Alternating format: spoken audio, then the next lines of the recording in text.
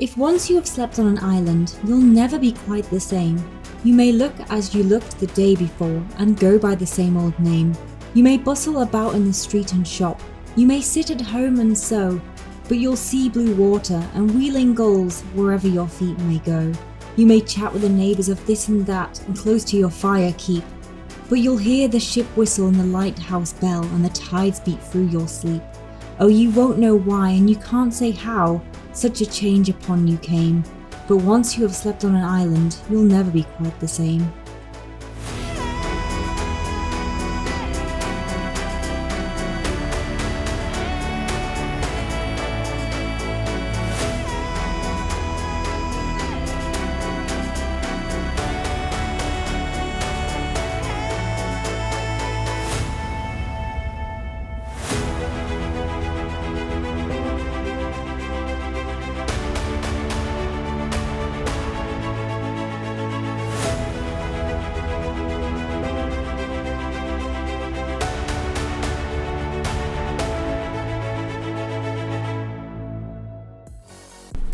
Last week on Saffy Sprocket, I travelled over 360 miles from North Wales to Fort William in one day in order to begin the epic adventure of partaking in the infamous NC 500 route. However, after so many hours on the road and one inedible meal, even the strongest of sprockets succumbed to sleep, even if that did occur in a lay-by.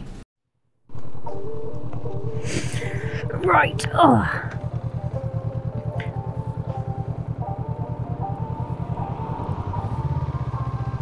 Up the mountain we go.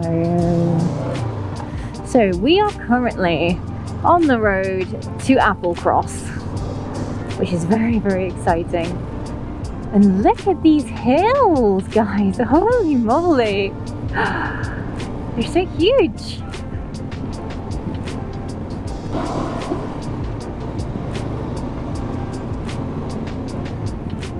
I am very, very, very glad that I uh, filled up with fuel before heading off. It most certainly looks prehistoric traveling through here, doesn't it? I feel like the camera's just not going to do it any justice whatsoever.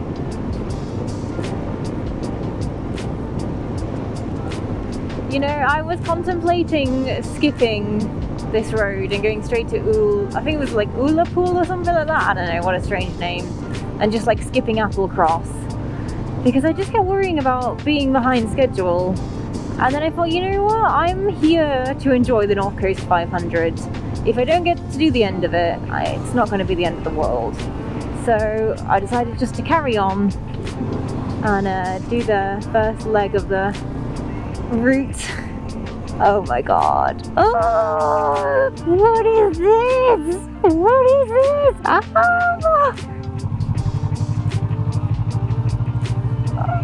Well, this is not terrifying at all. oh my god, this is like Stelvio Pass. I tell you what, I was so concerned about getting a bigger bike, thinking it would be like harder to corner and I swear down, this is so much easier. I don't know how, it doesn't make any sense in my brain. I'm probably sure that people who understand bikes know it makes sense. But I honestly thought like having a big, bigger, heavier bike was gonna be like a lot more hard work. But it's actually weirdly enough, a lot easier.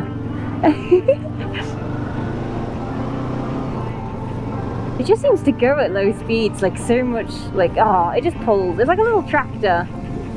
Tractor Tom.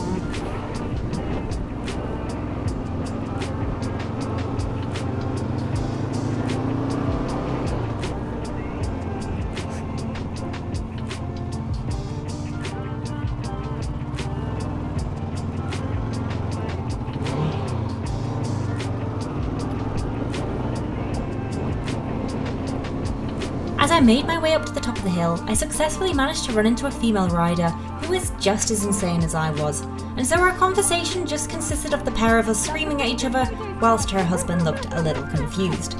Yo, I like it. I'm so jealous. Do you have a bike license? So strong. I know. I like when I drop it, I have to like take everything off just to be like, oh. Conversation was only interrupted by the sound of a motorcycle exploding up the hill, followed by a convoy of friends to roast the rider.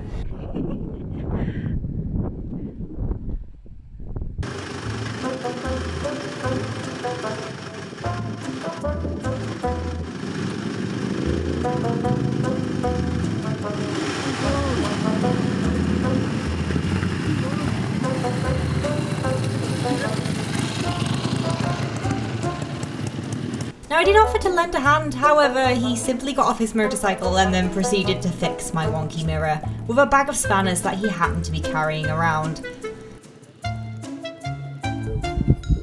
Catherine, how long does it take to get yourself organised? Quite a long time. And that's without the bike.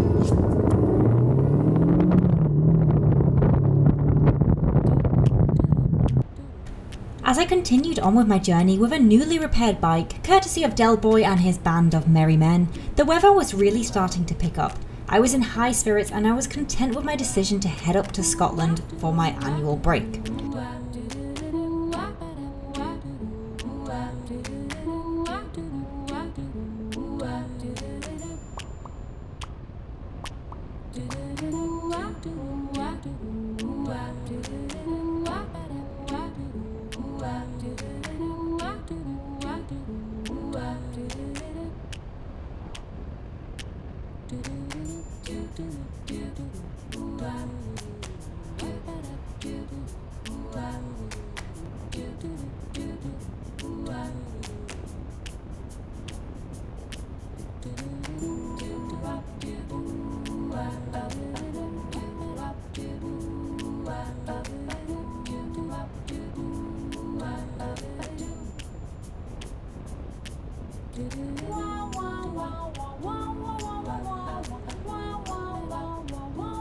I made my way from Applecross along the A896 towards Poolewe, meandering through the twists, the turns, and along the scenic ocean roads, admiring what I could only describe as one of the most beautiful routes I have ever had the luxury of riding.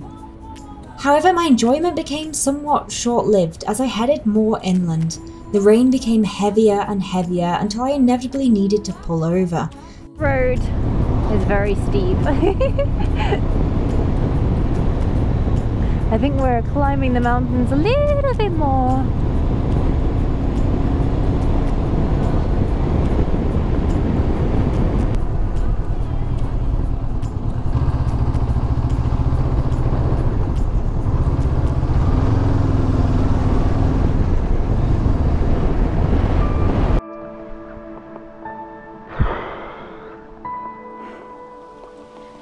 So the roads have started to flood. The rain has got really, really heavy. I had to stop so I could try and cover my sleeping bag because my sleeping bag is now soaked through.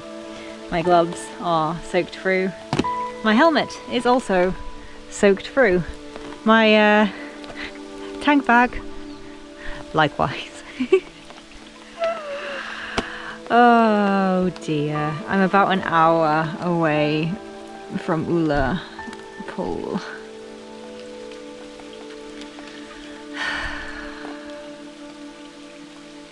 What a disaster. What a disaster.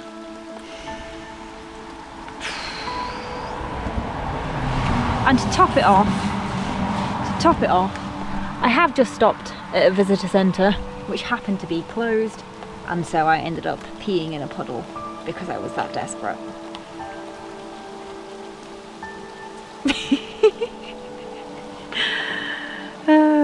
It's absolutely soaked.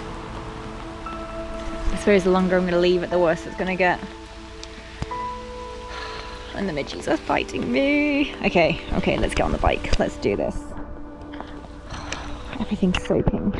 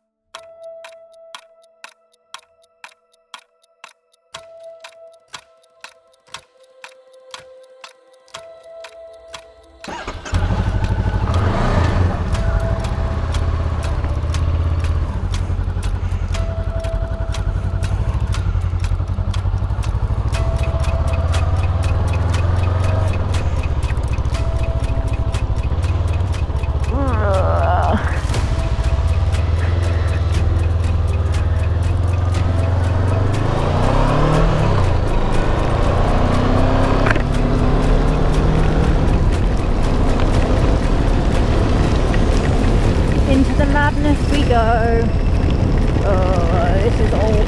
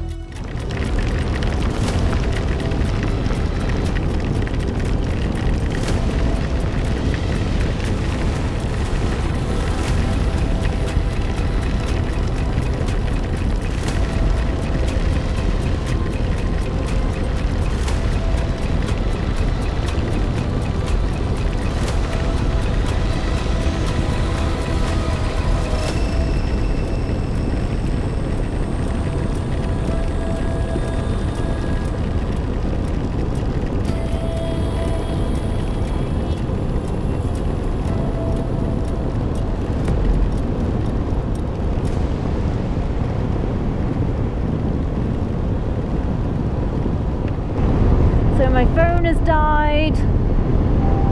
My hands are frozen.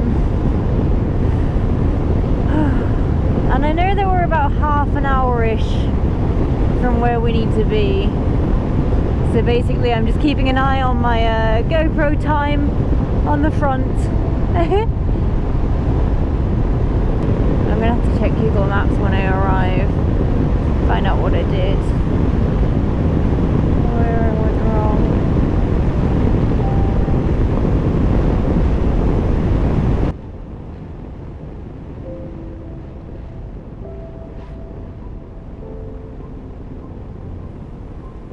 The clock struck 10 pm, and I knew that it was just simply too late to carry on riding. I inevitably gave up and decided just to fall asleep again in a lay-by.